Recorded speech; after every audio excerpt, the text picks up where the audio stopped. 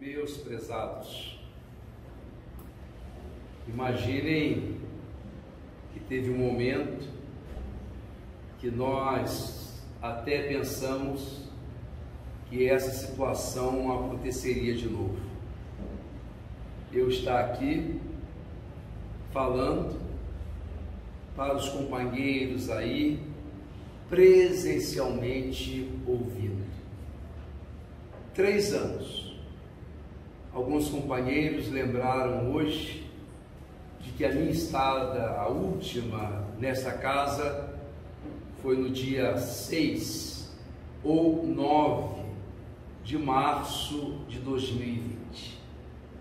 E nesses três anos, cada um ao seu jeito, cada um da sua forma, viveu esse momento difícil, porque passou a humanidade toda.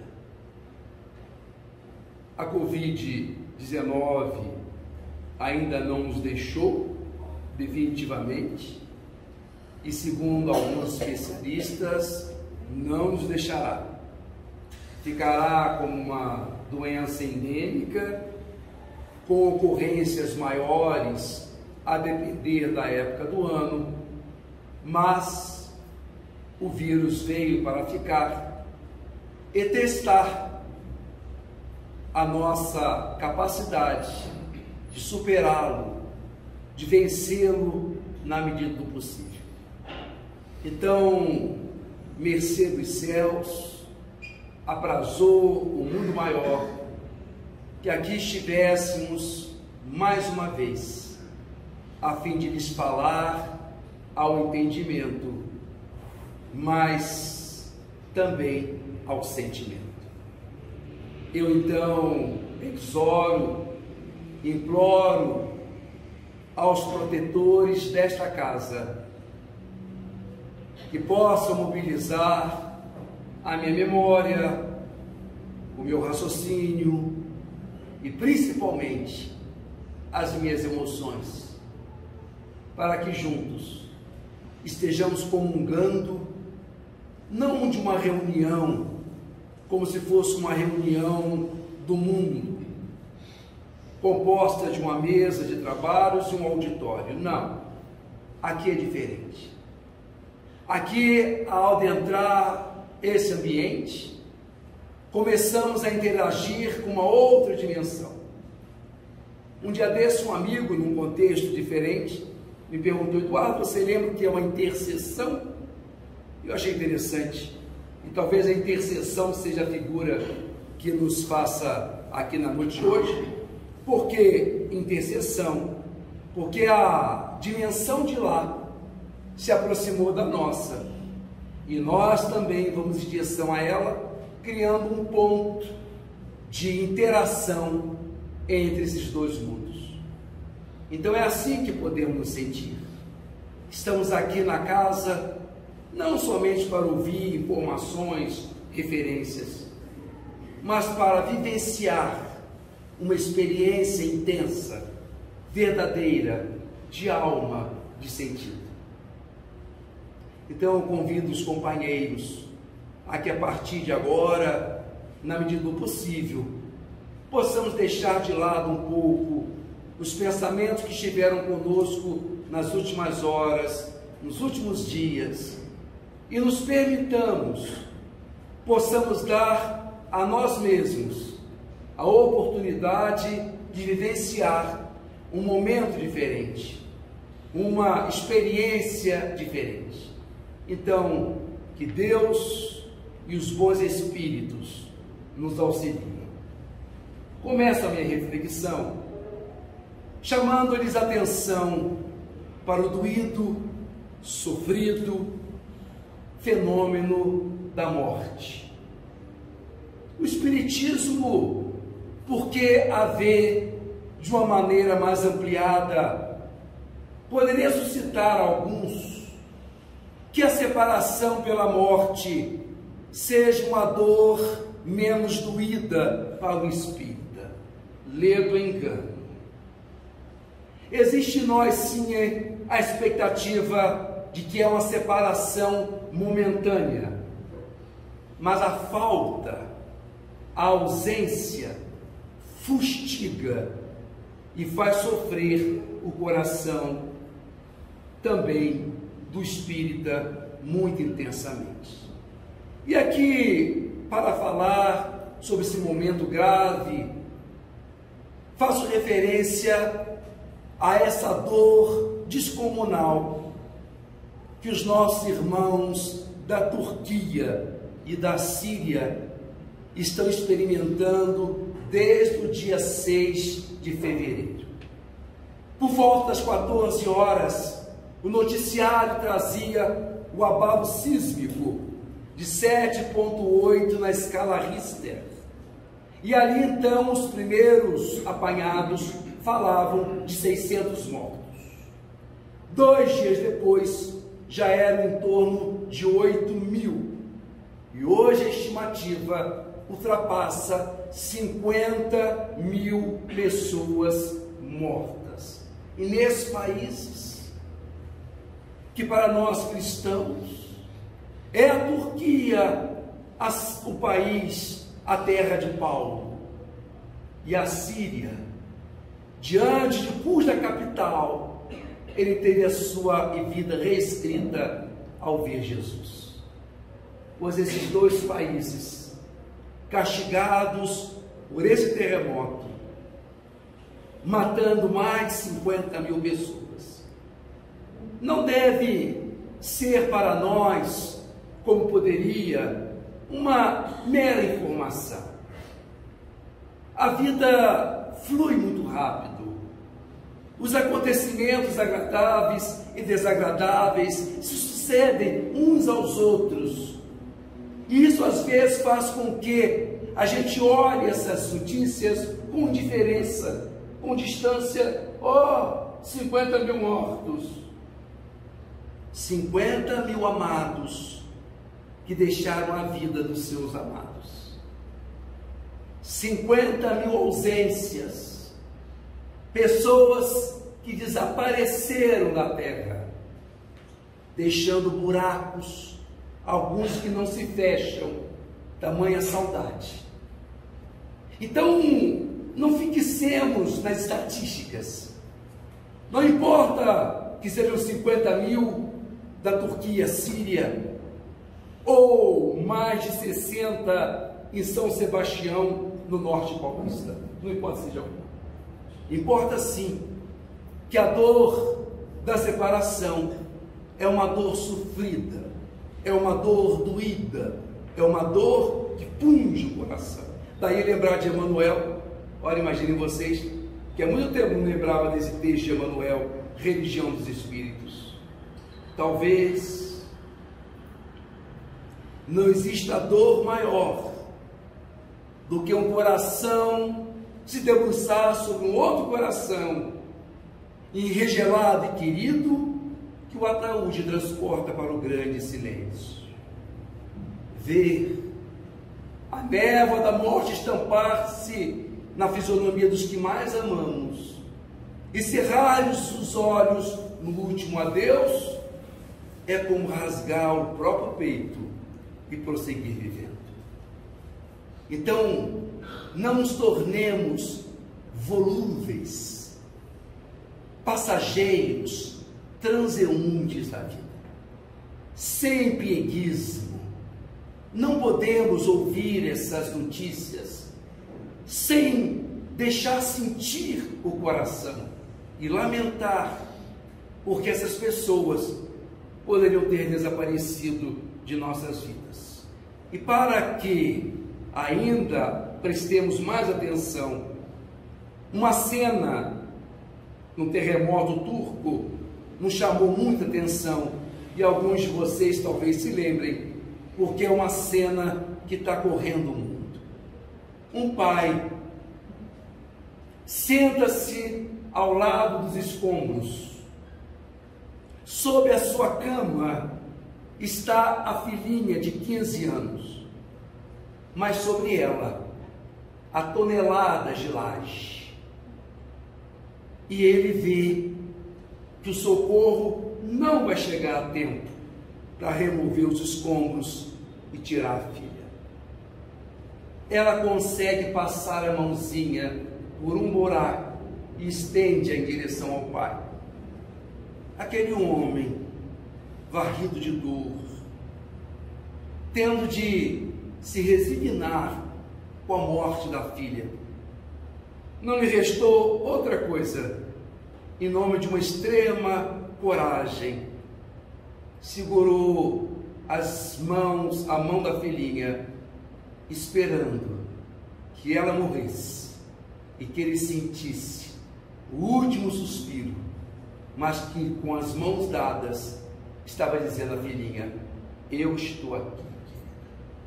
Eu estou aqui com você nesse momento.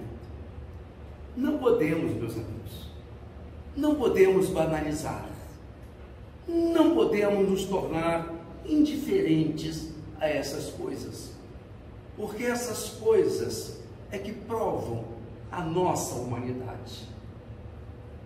E é por isso que, diante dessa consideração, eu gostaria de falar com vocês na noite de hoje da Boa Nova, do Evangelho do Espiritismo.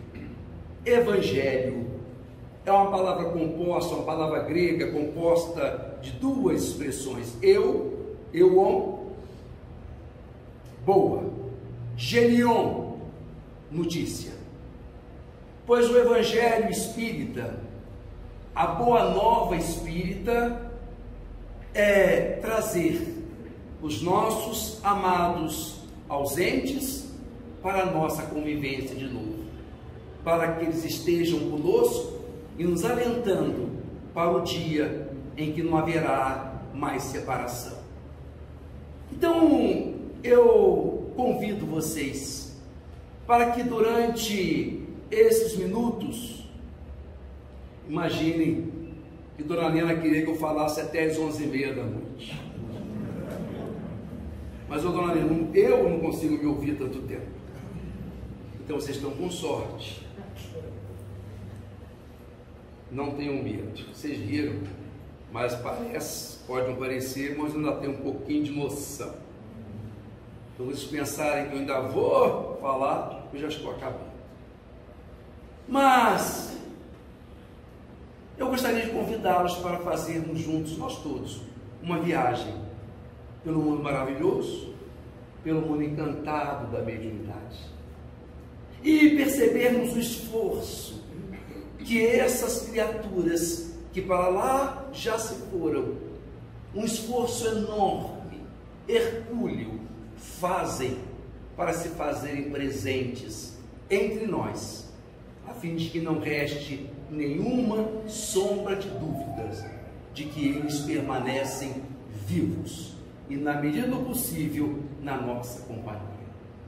Daí que o Espírito de verdade no prefácio do Evangelho segundo o Espiritismo, dizer assim: os Espíritos do Senhor, que são as virtudes dos céus, qual grandioso exército ao receber a ordem do seu comando, espalham-se por toda a superfície da terra, e semelhantes às estrelas cadentes, vêm iluminar os caminhos e abrir os olhos aos homens, homens, irmãos a quem amamos.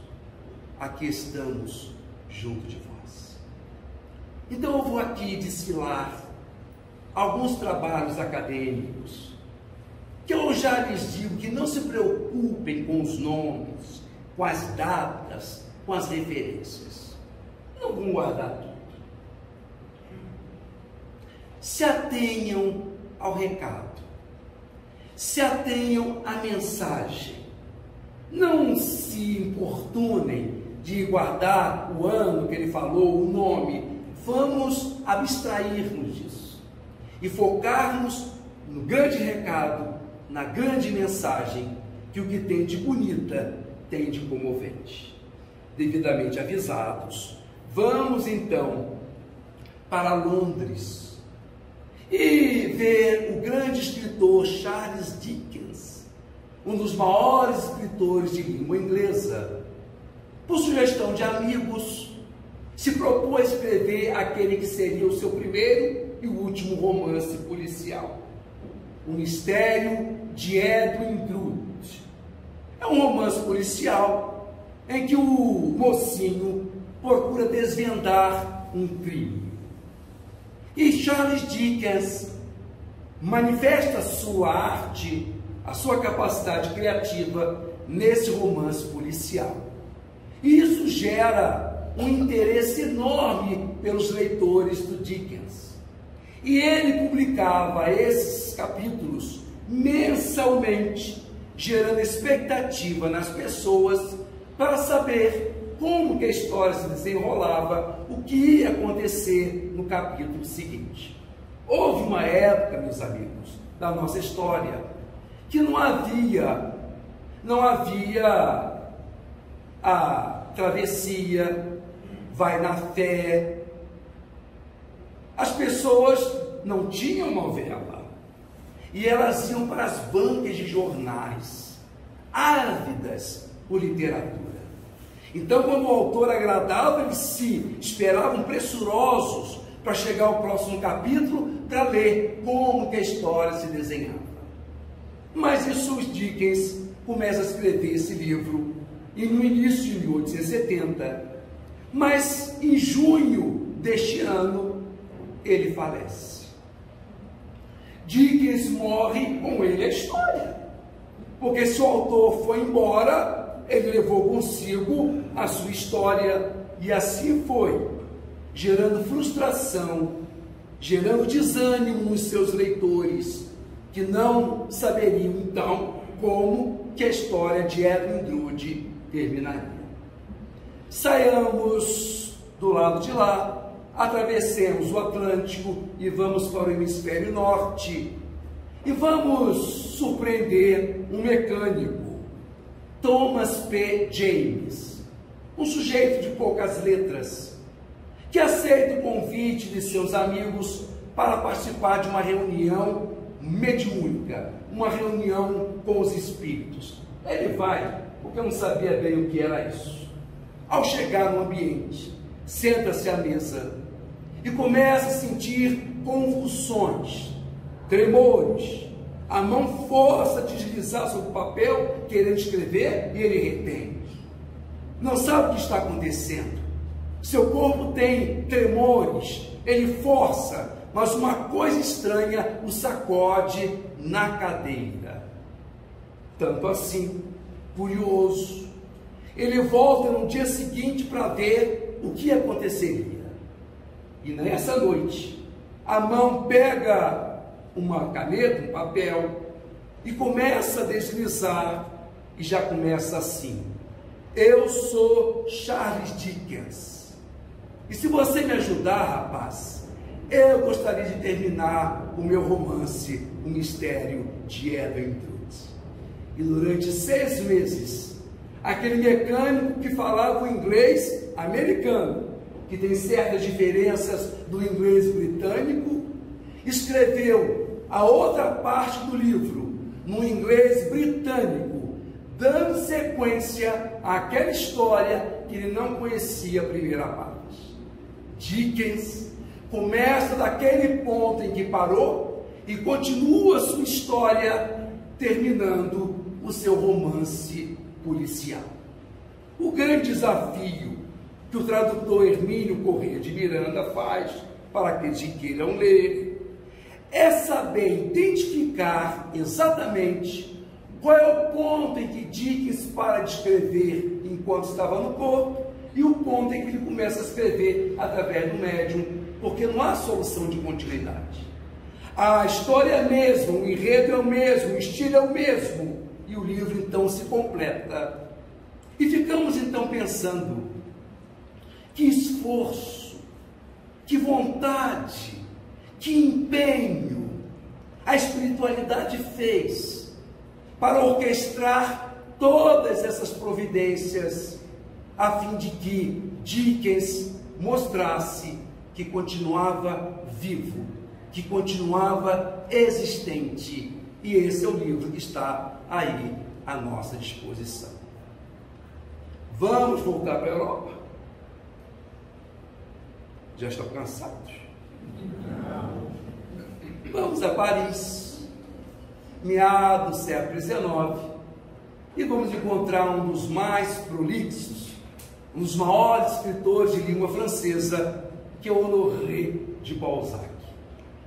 Escreveu mais de 10 mil páginas, numa característica, num estilo todo seu, todo próprio. Saiamos da França no século XIX e vamos a Uberaba. Aqui em Uberaba. E vamos ver aquele espírito baixote, bigodinho estranho, aparecer a confidência ao grande médium Valdo Vieira, que a essa época trabalhava com Chico, e dizer humildemente: Senhor Valdo, eu sou um espírito novo para o Senhor mas eu gostaria de escrever pelo Senhor. O Valdo, ao que me disseram, já tinha terminado seu curso de odontologia e estava começando seu curso de medicina e não tinha mais tempo para nada. Então o Espírito disse ao Valdo: Eu gostaria de escrever pelo Senhor. E o Valdo, numa reação sua toda própria, disse: Comigo não. Comigo você não escreve porque eu não tenho tempo para mais nada. Eu fico pensando, é imaginar um médico com essa petulância, o espírito se aproxima, não, não, hoje não. Comigo não, vai baixar novo terreno. Foi isso que o Valdo fez. Não, você me desculpa, mas eu não posso escrever. O espírito disse, seu Valdo, é um pequeno romance, romance. Eu não quero escrever uma página. Um romance pode esquecer, eu não vou escrever, você não vai escrever por mim.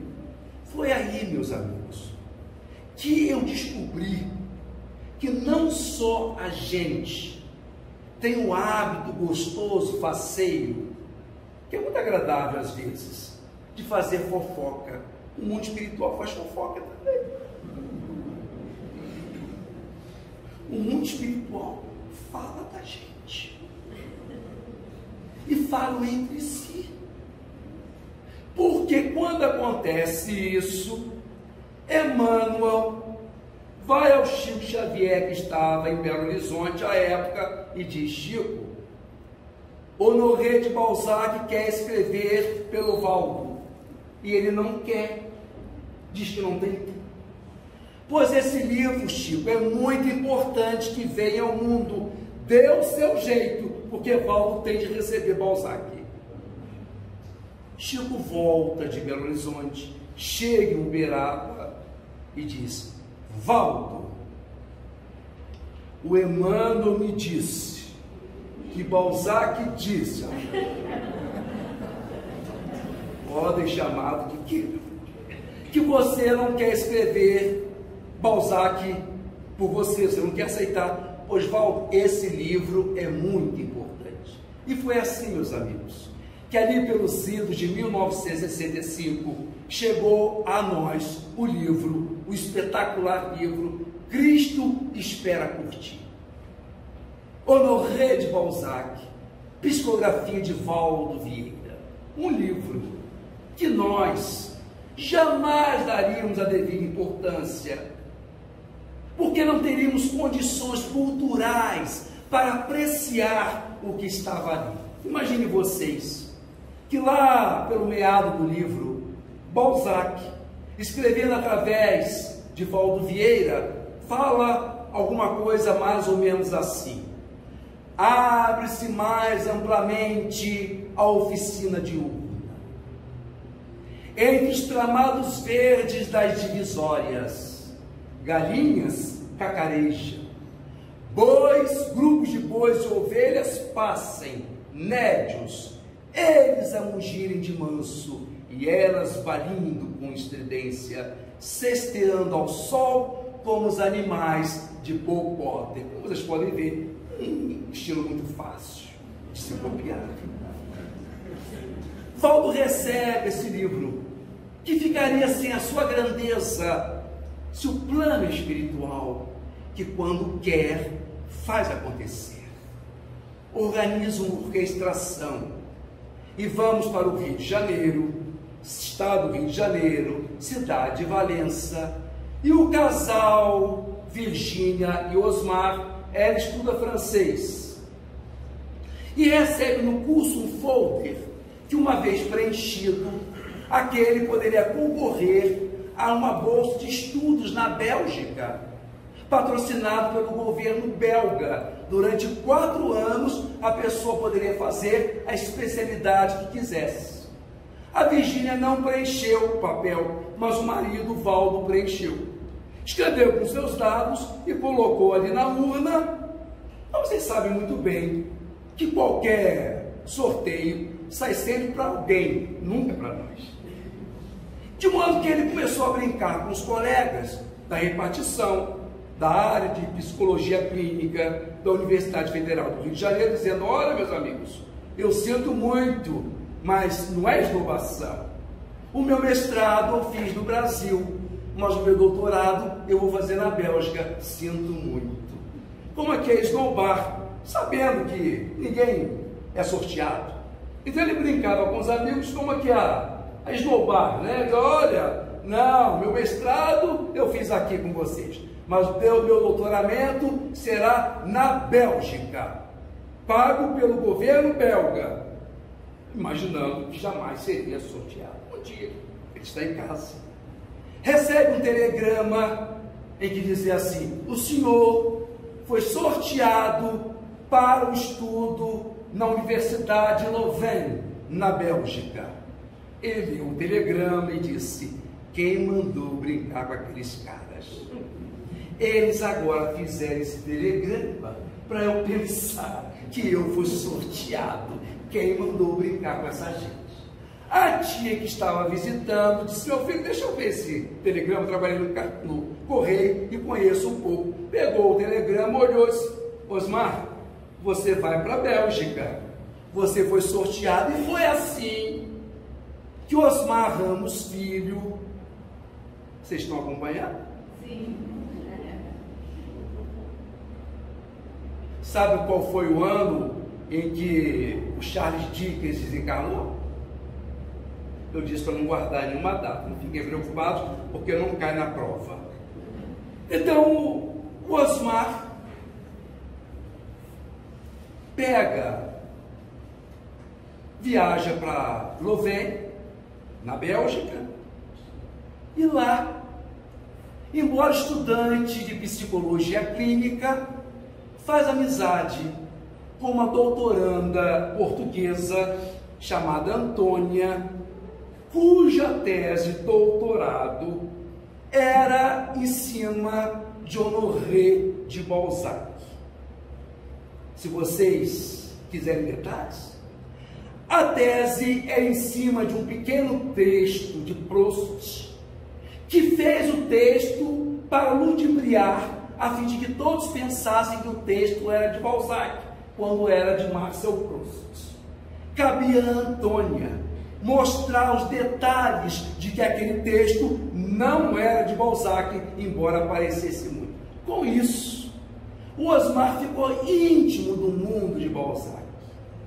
Ele começou a ler esse escritor, discutia-o com os professores da Antônia, com a própria Antônia e voltou para o Brasil. Ali pelo final da década de 70, um conhecimento de Balzac muito além da maioria de nós. Aconteceu uma noite, Valença, uma noite de chuva torrencial. A dona Nidinha mulher do professor Biratã, casal que eu conheci, por isso que eu estou citando, ela liga para o Osmar e diz, professor Osmar, está chovendo muito. E o, o está fazendo uma palestra no Centro Espírita de Valença. O senhor não poderia me levar? Eu estou com medo de sair essa hora com tanta chuva. Pois não, Lilinha. Pegou o carro, foi apanhar a amiga e se dirigiram para o Centro Espírita de Valença. Noite chuvosa. Os dois ficaram um pouco no carro, esperando o Biratã sair, sair, mas ele não saía. Aí entraram no centro. Quando entraram no centro, a palestra havia terminado mesmo, o Biratã já estava de saída. quando passam pela livraria, o livreiro diz: Olha, o professor Osmar era um intelectual da cidade, uma cidade pequena. O professor Osmar aqui na nossa casa, quanta honra, professor Osmar. Nossa, que coisa boa! Apresentou assim o Osmar. Mas o Osmar agradece a deferência e vai saindo. Não, professor Osmar, o senhor não vai dar nós fora, embora da nossa casa, sem levar uma recordação da gente. A nossa literatura é ampla e numa mesa cheia de títulos, vários livros disponíveis, ele pega Cristo espera por ti, de Honoré de Balzac e dá de presente ao Osmar, sem saber que tinha um conhecimento de, de Balzac nesses tempos. O Osmar pegou o livro e de cara não gostou do título. Cristo espera por ti. Muito piegas. E depois pensou consigo: nossa, esses espíritos são de amargar. Esses espíritas, quando eles querem, eles são demais. Vê se tem cabimento escrever plagiando Balzac. Esses espíritas vão te contar. Podia ter escolhido um escritor mais fácil, mas eles querem imitar Balzac, um escritor tão difícil. Esses espíritas vão te contar. Eles aprontam quando querem. Eu perguntei, Osmar, mas com toda essa resistência, por que é que você se propôs a ler o livro? Porque, Eduardo, eu abri a primeira página e deparei-me com o um prefácio. E o primeiro, a primeira frase do prefácio, o Espírito diz assim: e o leitor dirá: só é o mesmo Balzac que escreve essas linhas, pois é o que eu vou provar. E o Osmar diz para si: pois eu quero que você prove. Dez anos. A pessoa numa tese de doutoramento fica quatro, cinco, seis anos. Osmar ficou 10 anos da sua atual encarnação sem fazer outra coisa a não ser estudar o livro Cristo espera por ti. 255 páginas tomou-lhe uma década de vida, porque ele foi pensando, prova por prova, e descobriu que o que o Balzac quis foi recolher todas as provas das suas 10 mil páginas e colocar naquela 255 através da mediunidade.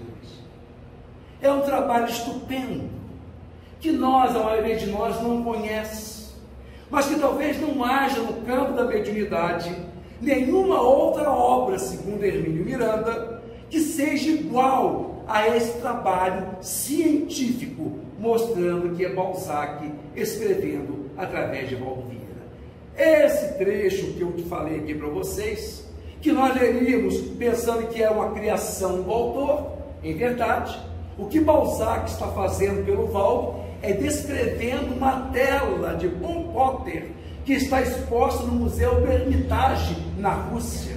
Abre-se mais amplamente a oficina de Hugo. Então a obra se recheia de indícios, de evidências, de provas de que é Balzac escrevendo através do médium mineiro Valdo Vieira. Homens, irmãos a quem amamos, aqui estamos junto de vós. É uma orquestração perfeita eles mobilizam todos os recursos para virem e nos mostrar que permanecem vivos, que continuam numa outra dimensão, invisíveis, mas continuam vivos. Eu não poderia, queridos, terminar minha fala sem recorrer ao ano de 1931, quando Emmanuel assume as rédeas da mediunidade de Chico, então com 21 aninhos de idade, chegar à maioridade. E Emanuel queria que o seu tutelado, que a sua primeira obra fosse de grande impacto, para que aquele fosse um marco da espiritualidade nas terras do Cruzeiro, nas terras do Brasil. Convida 14 poetas, 14 poetas brasileiros desencarnados, e lhes faz a proposta dizendo: vocês trabalhariam comigo? De modo que através desse mineiro que estudou somente até a quarta série primária, vocês escreverem poesias com seus estilos para mostrar que vocês continuam vivos, os 14 aceitaram. E foi assim que surgiu Parnacha em Túmulo, a primeira edição em 1932, 14 poetas, 56 poemas. Este trabalho tem sido ao longo do tempo objeto de pesquisa de várias pessoas, entre eles Alexandre Caroli Filho, cuja tese de mestrado na Unicamp foi exatamente a sobre Parnaso Alencar. Quando Parnaso saiu, então era o presidente da Academia Brasileira de Letras, Humberto de Campos. Eu estou falando de Humberto de Campos morto, desencarnado, escrevendo pelo Chico. Humberto de Campos, presidente da Academia Brasileira de Letras, pega o livro Parnaso em Túmulo, lê, e no livro e no jornal Diário da Noite escreve a seguinte, o seguinte artigo. Eu faltaria com um dever que me é imposto pela consciência, se não confessasse que fazendo versos pelo senhor Francisco Cândido Xavier, os poetas que deles se servem permanecem com seus mesmos estilos, com os mesmos temas, obedecendo a mesma pauta musical. Esse é o relato de Humberto de Campos. Então, nada mais, nada menos do que o presidente da Academia de Letras. Eles se mobilizam, queridos. Eles se movimentam.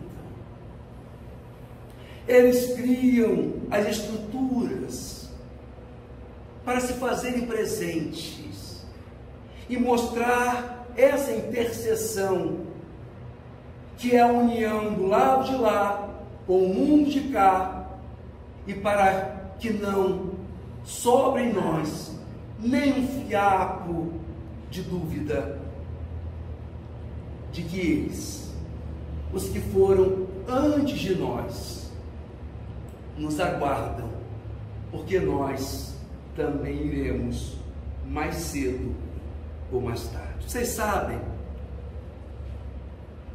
eu comecei esse trabalho de exposição há mais de 40 anos. Imagine vocês, eu comecei a fazer palestra com dois anos de idade, uns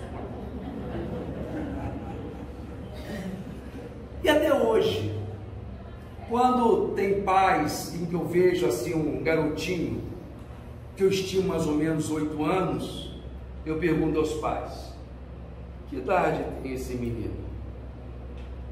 Aí quando eles dizem, ah, tem oito anos. Ah, porque com isso eu quero me ver. Quando eu tinha oito anos, e minha mãe que padeceu de câncer das duas mamas, fez o que os antigos chamavam de passagem. Lembro-me que foi à capela do Hospital Santa Cruz, em Niterói, já era atarracadinho, pesadinho, mas minha tia mãe me ergueu no seu colo e eu dobrei o corpo para beijar o rosto branco, frio da mamãe ali no caixão da capela do Hospital Santa Cruz. Ergui e lhe dei um beijo. E então fui ser criado pela sua irmã, pela minha tia, que me deu todo o amor do mundo. Cinco anos depois, Portanto, eu ali, com 13 anos, já estava na casa de Aureliano, a casa que eu frequento até hoje. E receberíamos naquele sábado à tarde o grande tribuno e excepcional médium Newton Boixá. Sentei-me assim. Tínhamos mudado a conformação do salão para caber mais gente, era um orador famoso. Sentei então, como que transversalmente ao Newton, ali ao lado de uma amiga, da Thelma Guiar. Em dado momento, olhei para o Newton e vi que ele estava olhando para mim fixamente, insistentemente. Olhei, vi que era para mim que ele estava olhando, e com meus 13 anos, meio envergonhado, eu olhei para o outro lado. Como eu volto em direção a ele, ele me encarando fixamente. Eu eu acho que eu já ficava sem graça, eu já ficava olhando para o outro lado, assim, olhava só de esgueira, né, de soslaio, e ali aquilo aconteceu. Até que ao final da palestra, eu chamei a tela e disse: Vamos lá, vamos cumprimentar o Newton Boixá. Assim, vamos. Mas quando chegou no meio do salão, ela tirou a mão de mim, envergonhada. Vocês sabem que adolescente é o louco. Ela largou a mão de mim, mas eu fui, assim, pois eu vou falar com um boixá. Cheguei, era um salão mais ou menos assim, a mesa, ele do lado de cá, conversando com uma amiga dele, de Taubaté, Dona Otávia Paz Seles, e eu cheguei do outro lado. Quando ele me viu, ele olhou para mim, você, eu quero falar com você. Eu tenho um recado para você. Imagina que você estava ali sentado, antes da palestra, e uma senhora corpulenta, jovem, bonita, ela estava do teu lado e te beijava, te acariciava. Imagine, queridos, mexia, vocês podem achar que é mentira, nos meus cabelos, encaracolados. Pois ela, ela te olhava com um carinho Dizia-me ele, ela de vez em quando afastava um pouco, aí ficava assim me olhando, com embevecimento, com bondade, com amor. Aí aproximava de novo o rosto, o lábio e beijava, acariciava, mexia no cabelo. Sim, disse ele, não sei. Não sei se é avó, é muito jovem, muito nova. Não sei se seria a mãe, se já deve ser minha mãe. Ele deve ter vacilado, porque como imaginar um garoto de 13 anos já ser órfão? Boixá deve ser a mamãe. Ah, sim! É. A vibração que eu senti era de mãe. E ela mandou você falar para uma tal de minha, linha, ninha. Eu disse é ninha, Boixá porque a minha tia que passou a criar a minha, minha irmã chamava-se Durvalina. O seu irmão chamava a irmã de Ni, mas minha mãe chamava a irmã de Ninha.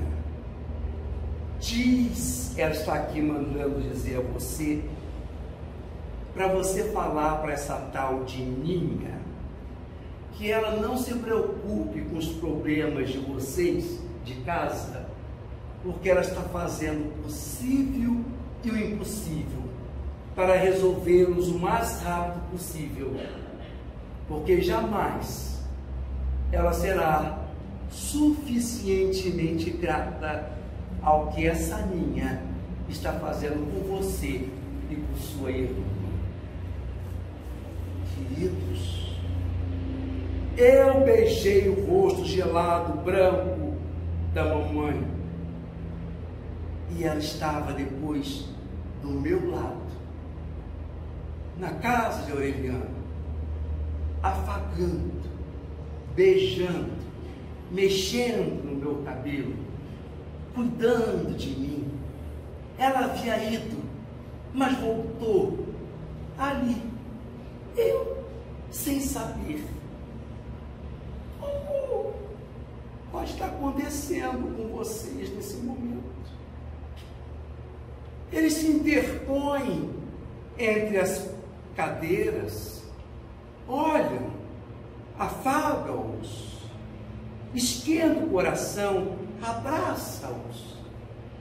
Isso acontece porque estamos aqui, nesse ambiente, recebendo esses eflúvios, essas energias que eles docemente prepararam para nós. Durante esses três anos, estivemos fadados às transmissões virtuais, que deu, deu para o gasto, só isso. Vivenciar Espiritismo não é só troca de informações, não é teorização, é vivência. É isso que vocês estão vivendo nesse momento. E eles perpassando suas mãos carinhosas por nossas faces. Embora não os vejamos, não é a ausência do instrumento que quer dizer que a coisa não exista, assim como sem microscópio não quer dizer que a bactéria não esteja presente. Eles estão, estão nos abraçando. Sempre que podem, vêm sem barreira de tempo, de espaço. É isso, meus amigos. Essa viagem que eu convidei vocês para fazerem comigo, para que eu pudesse, eu mesmo, na medida em que repito essa história, eu consigo senti-la de novo, quando eu tinha meus oito anos e depois os meus 13 anos de idade. Imagine que alguns meses atrás, um companheiro de matão me convidou para fazer uma palestra sobre Jesus Gonçalves, figura que eu admiro muito. Jesus Gonçalves tem uma história de vida terrível do ponto de vista humano. Nasceu paupérrimo, miserável, sofreu fome, abandono, órfão de pai e mãe, enviuvou, adquiriu ranceníase, mas teve uma experiência ímpar. Porque a sua esposa Ninita, que era espírita, e chamava-o para o Espiritismo, e ele ateu, porque não podia imaginar um Deus bom lançar tanta miséria numa única vida como a dele. Ao sepultamento da esposa, ela ainda estava sendo velada. Ele está no enterro da Ninita e ela se aproxima de uma médium e num rompante diz: Jesus, meu amor, Venha para Jesus. Eu sou limita. Venha, querido, de uma vez por todas. Venha, porque eu continuo viva. E a partir daí, Jesus depois logo se tornaria espírita. Quando eu fiz esse trabalho lá dos amigos de Matão, eu então recorri às obras de Jesus. E então deparei-me com esse soneto que vocês vão entender porque ele me tocou tanto. De Geras partiste para o último recanto. Mentir a mim parece essa verdade. Passaste a residir no Campo Santo e eu é que fiquei na soledade. Partiste no verdor da mocidade, deixando-me já trôpego sem canto em teu lugar ficou, dona Saudade, a recordar-me quem recorda. Tão boa foste que provar quiseste, que mesmo depois de morta, num rato transporte, falaste-me da doce Pai Celeste. Pus-me a pensar então desde a partida. Vou precisar de ti depois da morte mais que precisei durante a vida. Iniciei essa fala lembrando daquele pai que segura corajosamente, sentindo todas as dores do mundo, suportando a filha morrer sem que ele pudesse fazer nada. Pois o Espiritismo, com Jesus, consegue inverter as coisas. E quantas vezes somos nós que, para continuar respirando e prosseguindo, somos nós que pegamos a mão deles. Que Deus abençoe. Mestre amado, coração emocionado, relembrando esses pioneiros tão queridos que deram uma existência em favor da doutrina. Lembrando, Senhor, neste instante, rogamos nossos agradecimentos a esta figura mencionada nesta noite, Milton Boechat, que quando, iniciando a nossa caminhada, ele lembrou e perguntou ao casal Galves quanto tempo tínhamos de doutrina. E eu disse ingenuamente, muito pouco, Milton, alguns meses. E ele respondeu, quem já tem um dia de conhecimento doutrinário, uma hora sobre o Espiritismo, já está comprometido. Relembrando, Senhor, que todos nós que ouvimos falar destes pioneiros que nos antecederam, mais de uma hora, mais de um dia, mais de uns meses, mais de alguns anos, temos um comprometimento muito grande com o mundo espiritual. E a eles, neste instante, que eu também rendo minha homenagem, pedindo e lembrando que sempre possamos ter essa consciência que eles tiveram de compromisso doutrinário. Jesus amado, uma hora, um dia, um mês, um ano, já é o suficiente para lembrar que o mundo espiritual existe e que um dia partiremos todos e nos reencontraremos. Se conosco, Mestre, em nossas escolhas, em nosso trabalho, em nossa palavra, em nossa atitude, em nossos gestos. Se conosco, Mestre. Hoje, lembrando estes pioneiros, e amanhã, braços dados com eles, sempre.